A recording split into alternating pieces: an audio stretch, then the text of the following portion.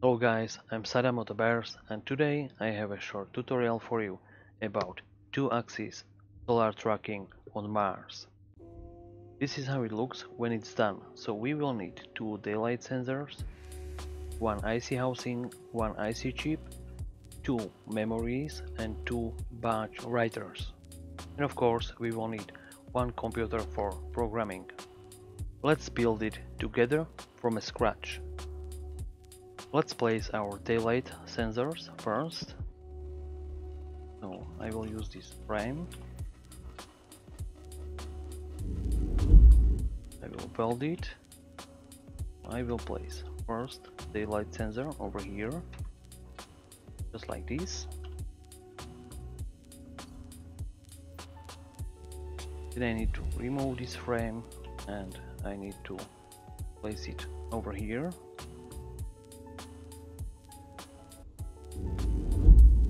just like this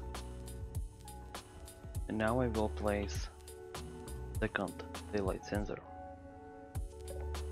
And it looks like this. So I will remove the frame and we have the daylight sensors.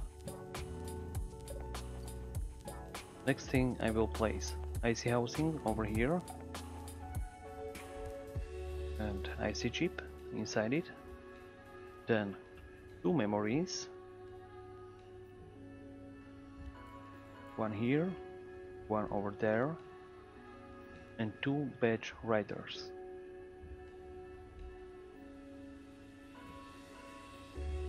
just like this. Next step I will rename the daylight sensors. So this one is the vertical sensor and this one is horizontal sensor then I will rename the memories so this one is vertical memory and this one is horizontal memory. Now we are going to program our batch writers. So this one the input is the vertical memory because we don't have any other input. The output is solar panel or solar panels and the variable is vertical. And this batch writer the input is horizontal memory the output solar panel and the variables horizontal. Just like this. Before programming the screws on IC housing find program SDB Mars solar tracking and subscribe to it on Steam Workshop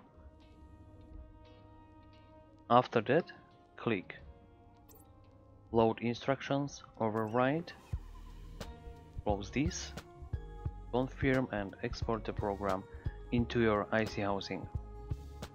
When you will start IC housing it will show errors but you will get the names on your screws. So let's program the screws. You will take a screwdriver after the programming the IC housing it looks like this. So this is the B sensor this is H sensor and D3 is V mem and D4 is H mem. So now it looks like it is running. We are getting some numbers over here. So the last thing what we need is uh, turn on these batch writers. And now we can see the solar panels are rotating and they, they will track the sun.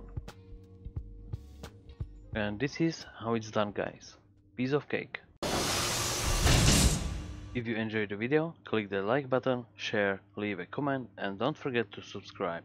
Thank you very much for watching and see you next time